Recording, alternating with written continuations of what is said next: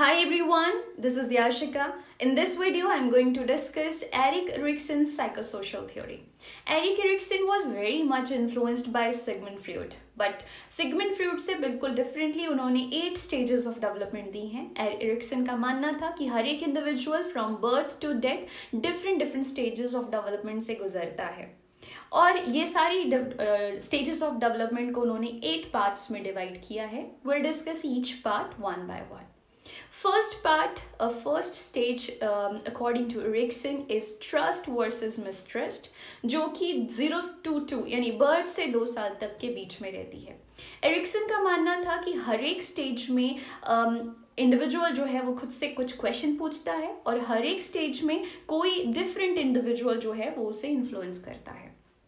सो so, पहली stage जो कि ट्रस्ट वर्सेस मिसट्रस्ट है उसमें एक बच्चा खुद से क्वेश्चन करता है कि क्या वो uh, ट्रस्ट कर पाएगा दूसरे पर्सन को या सिचुएशन को?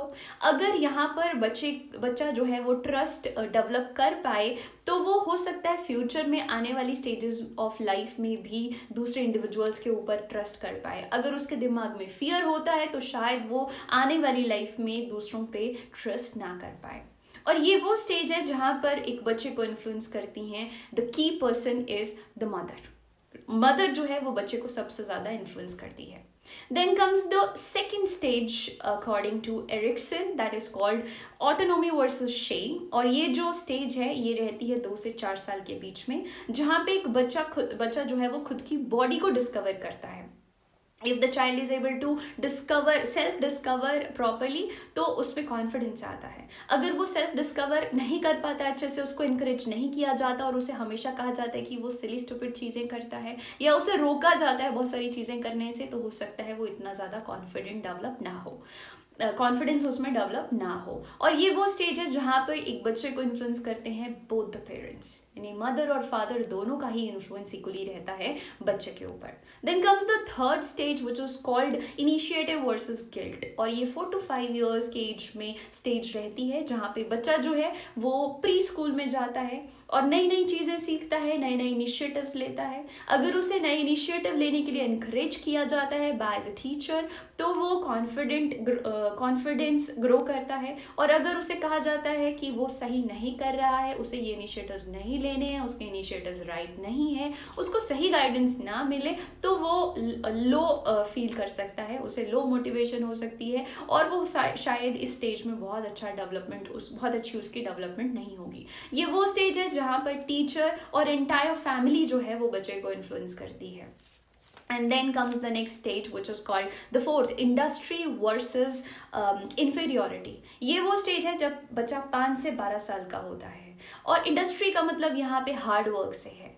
बच्चा यहाँ पे क्वेश्चन पूछता है whether he can make it to the world और नॉट तो अगर यहाँ पर बच्चे को इनक्रेज किया जाए अगेन वर्ल्ड को एक्सप्लोर करने में और डिफरेंट चीज़ें करने में तो उसकी डेवलपमेंट अच्छी होती है। ये वो स्टेज है जहाँ पर बच्चे को इन्फ्लुएंस करते हैं, उसके पीयर नेबर्स आसपास का एनवायरनमेंट हर चीज़ उसके ऊपर इन्फ्लुएंस डालती है। और अगर बच्चे को इसमें इनक्रेजमेंट नहीं मिलती है तो वो इन्फीरियर भी फील कर सकता कर सकता है। Then comes the fifth stage and fifth stage is identity versus role confusion और ये stage thirteen to nineteen years तक रहती है। यहाँ पे बच्चे को रियलाइज़ होता है कि सोसाइटी में उसके बहुत सारे रोल्स हैं जैसे कि uh, वो चिल्ड्रन है वो आई I मीन mean, वो अपने पेरेंट्स का बच्चा है वो स्टूडेंट है वो um, फ्रेंड है, वो एक सिटीजन भी है तो ये डिफरेंट डिफरेंट रोल्स हैं उसके। And if we let him go and explore the world तो हो सकता है वो अपने आप को भी, अपने इंटरेस्ट को भी फाइंड करे और अपनी आइडेंटिटी को फाइंड करे यहाँ पर। लेकिन अगर हम उसको रोकेंगे या पेरेंट्स अपने ही थॉट्स को उसके ऊपर थोपेंगे तो शायद वो अपनी आइडेंटिटी को इतना ज़्यादा फाइंड नहीं एक्सप्लोर नहीं कर पाएगा। और हो सकता है वो फ्यूचर में बहुत ज़्यादा कुछ अच्छा ना कर पाए लाइफ में। So this is the time when अच्छा यहाँ पे कौन इन्फ्लुएंस करता है बच्चे को सबसे ज़्यादा उसके रोल मॉडल्स किस तरह के रोल मॉडल्स हैं उसके। और और उसके फ्रेंड्स भी उसको यहाँ पर बहुत ज़्यादा इन्फ्लुएंस करते हैं। Then comes the next stage is intimacy versus isolation ये स्टेज 20 से 40 साल तक रहती है और यहाँ पर जो है individual look out for love और if he is able to find the love of life और वो इंटीमेट रिलेशन बनाने में और कमिटमेंट करने में सक्सेसफुल होता है तो ही फील हैप्पी इन लाइफ अगर if a person is not able to find love of his life वो रिलेशन अच्छे नहीं बना पाता है कमिटमेंट नहीं कर पाता है तो वो आइसोलेटेड फील कर सकता है। और यहाँ पे सबसे ज़्यादा इन्फ्लुएंस करते हैं friends and partner then comes the uh, next stage in life seventh stage called generativity versus stagnation ये स्टेज जो है वो 40 टू 65 इयर्स तक रहती है and this is one stage जहाँ पर um, को लगता है कि वो सोसाइटी को कंट्रीब्यूट कर सकता है और एक जनरेटिविटी की फीलिंग आती है if the person is able to lead the next generation अगर वो सोसाइटी को कंट्रीब्यूट कर पाए नेक्स्ट जनरेशन को लीड